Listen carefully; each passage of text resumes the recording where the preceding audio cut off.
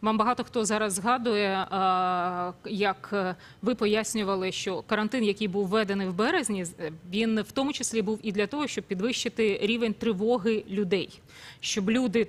Захвилювалися, і все ж таки, як каже міський голова Києва, не шастали. От і вам це згадують, тому що зараз кажуть, що е, немає тієї віри до е, очільників держави, які тоді казали е, сидіти вдома, хоча такої загрози не було. Зараз 800 на день у нас прибуває, да, і нам кажуть: ой-ой-ой, ви ж е, якось схаменіться та і подумайте про свою безпеку. Що ви скажете на це? Хочу апелювати двома фактами. Якщо можна, перший слайд, де світове поширення коронавірусної хвороби.